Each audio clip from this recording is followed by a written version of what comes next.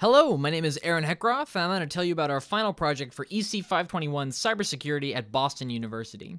We're going with the content presented in Bad USB, a conference talk given at Black Hat 2014 about the vulnerability of USB devices to firmware reprogramming. We're going to give you some background information on USB, and then we're going to go into how you can exploit both the flexible nature of USB and people's trust in familiar USB devices to implement some pretty nasty attacks. As a communications protocol, USB's model for abstraction is pretty similar to the OSI model. A device identifies itself when it's plugged in, it's given an address by the OS, and drivers are loaded to interface with it. USB was designed to be flexible and to be used for many different applications, which is why it's present on nearly all modern personal computers. And on each USB device, there must be some component that speaks USB back to the operating system, which we're going to call the USB controller. USB controllers communicate with the operating system via packets. This is a Wireshark capture of USB transmission packets. They're pretty similar to the packets you'd see between computers on a network. All devices exist on the same bus, and each packet needs a destination composed of a USB device address and an endpoint. The packets also need to encode the protocols used in addition to the data being sent. With the right tools, all USB traffic is sniffable, and sensitive applications should encrypt this data to avoid reverse engineering. USB communication is complicated by the fact that physical ports do not map to individual devices. The image on the right shows a list of USB devices connected to one of our laptop computers. As you can see, all those USB receiver devices represent just one Logitech unifying receiver for communicating with a wireless keyboard. Perhaps more worrying, the webcam and Bluetooth radio devices are both internal devices that are permanently embedded in the computer.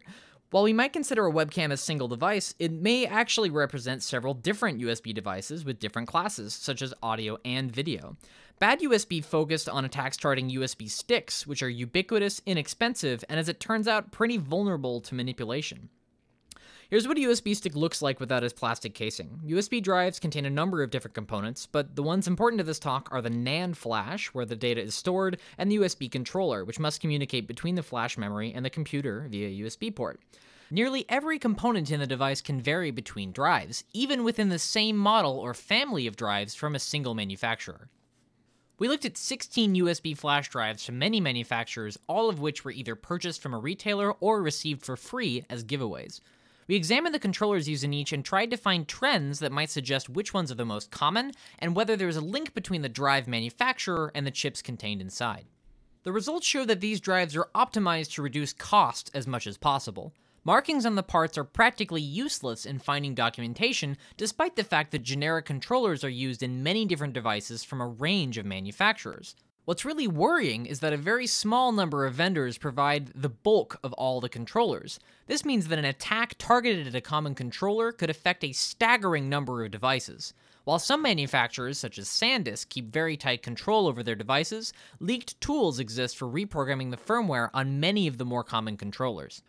Taking advantage of some of these firmware tools, we found that this is the most common configuration required to parse packets captured from a USB flash drive and to generate our own custom packets.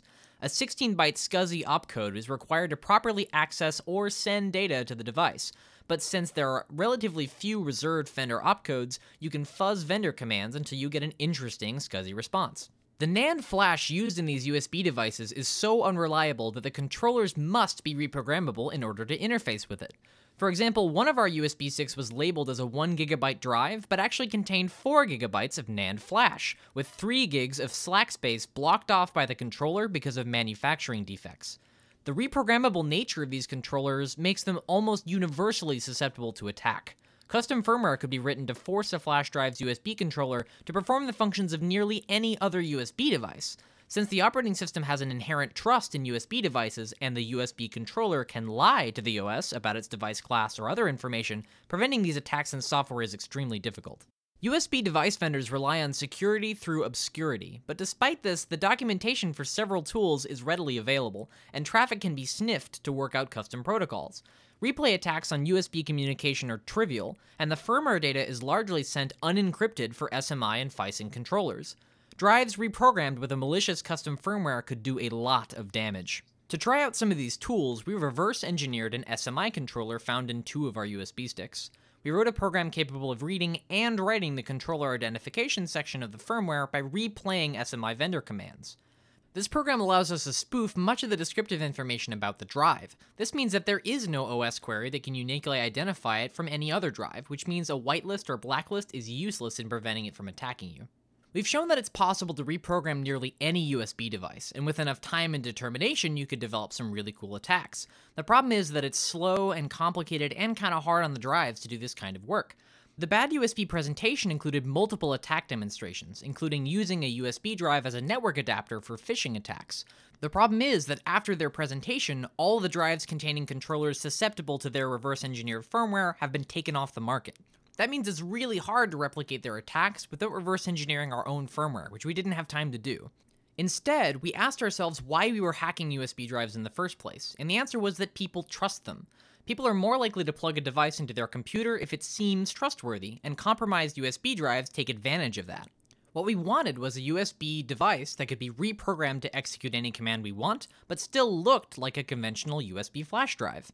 To solve this problem, we decided to make our own device that would allow us to replicate some of the functionality of the attacks presented in Bad USB. This is the Scam Disk. It's a USB attack tool disguised as a flash drive that allows you to execute human interface device attacks. The Scam Disk has a 3D printable enclosure. It's built around the Teensy 3.1, which is easily reprogrammable thanks to the Arduino framework. It's also open source and highly accessible. Sourcing and assembling the parts to make the scam disk is really easy. The Teensy 3.1 is readily available online for about 20 bucks. You also need a USB-A to micro USB-B adapter, which we got from Amazon from a manufacturer called StarTech, and we removed the rubber casing to make it fit better into a case. We also designed a 3D printable enclosure that can be made on any FDM printer, which means manufacturing the parts of the scam disk that can't be bought off the shelf costs about 25 cents. This is a video demonstration of how to assemble the scam disk from its component parts. Uh, as you can see, the Teensy and USB adapter fit right together. They get inserted into the plastic enclosure and then clamped down with a plug. Included in the design are a cap and a hole for a keychain, just to make it look more believable. As you can see, there are no fasteners or adhesives involved in the design, which means it's easy to disassemble so you can get access to the Teensy for reprogramming. So what can the scam disk do? It lets you execute arbitrary human interface device attacks by plugging it into a target machine. It executes keystrokes, which can then be used to get you shell access, which gets you almost anything you want. This enables alternative methods of achieving some of the same results that were shown in the bad USB talk. For example, they reprogrammed a USB device to work as a network adapter for phishing, but you could do a similar attack by having the scam disk modify the target's host file, redirecting a site to a server that you control. We used a framework called Kotilia to develop HID payloads for Kali Linux. We made a standard vector for opening up a terminal and then sending any keyboard commands we want. Using this, we implemented two payload examples to show different kinds of attacks. This first demonstration happens pretty fast. After it's inserted into the USB port, the scam disk sends keyboard commands that open up a terminal and then set up a reverse shell connection to a remote server. In this case, I'm using an Amazon Web Services machine that lets me control the target computer remotely even after the scam disk has been removed. In this second example, we're going to show how to download and execute code from the internet.